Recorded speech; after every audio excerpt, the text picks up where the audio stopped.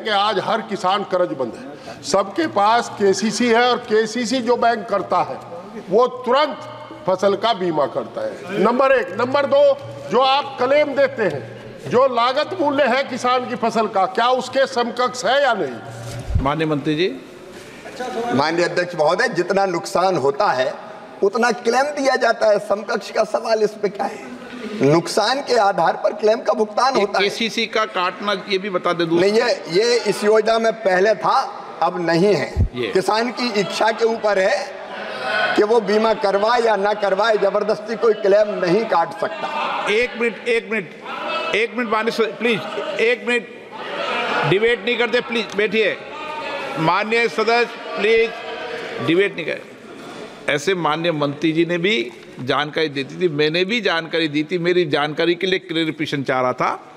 अब जब दोनों तरफ़ से क्लियरिफिकेशन हो गया तो आप मन में शंका मत रखो, कोई ज़बरदस्ती काटता है तो किसान उसको लिख के दे दे, उसका नहीं काटा जाएगा। किसान लिख के नहीं देता, इसलिए काटा जाता है। Question number 204 Dilip Saikia ji.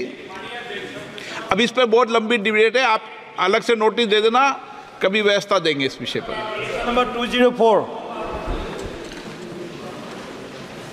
माननीय अध्यक्ष महोदय, सदन के पटल पर विवरण रखा गया है।